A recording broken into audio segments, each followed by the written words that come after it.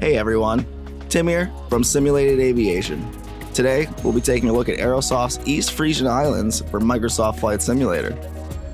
Aerosoft's East Frisian Islands features six unique custom airports, familiar landmarks for natives of the Frisian Islands, and completely reworked ground textures spanning across all six islands and airfields, making for an incredible experience. The East Frisian Islands only take up 5.58 gigabytes of space, which takes up less space than most commercial airports or really just about any third-party airport currently. Over the course of this video, we'll be taking a closer look at each of the airports while time-lapsing our trip to the next airport. If you don't want to follow along for our journey, the time hacks are in the description below to skip to the next airport.